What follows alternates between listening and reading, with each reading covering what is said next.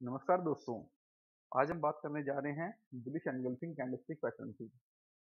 आज के सेशन में हम समझेंगे कि बुलिश एनगल्फिंग पैटर्न होता क्या है, हम इसे आइडेंटिफाई कैसे कर सकते हैं और इसके बेस पे हम ट्रेड कैसे ले सकते हैं। तो चलिए शुरू करते हैं आज का सेशन पहले समझते हैं कि ये बुलिश एनगल्फिंग कैंडलस्टिक पैटर्न है क्या।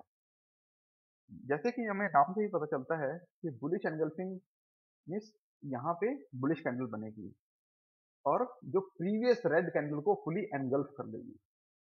और ये कैंडलस्टिक पैटर्न है और जो प्रीवियस पैटर्न का पोटेंशियल रिवर्सल शो करेगा।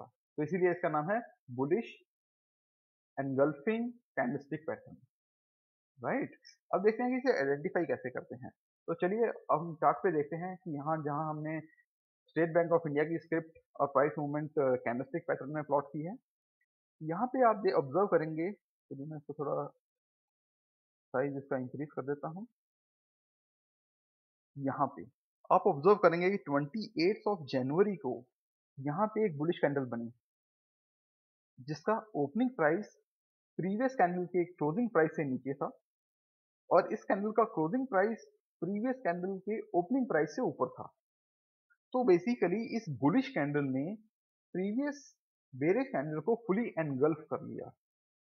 जिससे हमें पता चलता है कि ये बुलिश एनगल्फिंग कैंडलस्टिक पैटर्न है और अब ये शो कर रहा है कि पोटेंशियली ट्रेंड रिवर्सल हो सकता है। यहाँ पे आप ट्रेड कैसे लेंगे?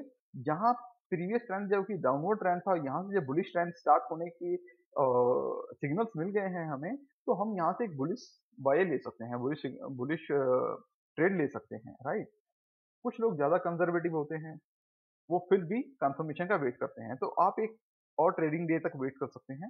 यहाँ आप देखेंगे कि एक रेड इवन तो रेड कैंडल बनी है बट उसका क्लोज प्रीवियस डे के क्लोज से ऊपर है राइट यहाँ तो बेसिकली इससे पता चलता है कि अप ट्रेंड यहाँ से स्टार्ट हो गया है और यहाँ कंफर्मेशन भी हमें मिल गया है।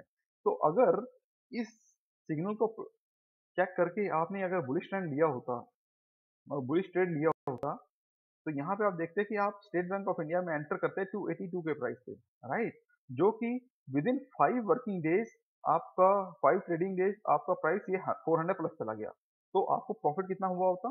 25 से 35 परसेंट का प्रॉफिट आपको विद इन फाइव डेज़ हो चुका होता अगर आप इस कैंडलस्टिक पैटर्न के बेस पे ट्रेड लेते। राइट तो ये तो ये तो था हमारा बुलिश एनगल्फिंग कैंडलस्टिक पैटर्न और इसके बेस पे ट्रेड कैसे लेना है?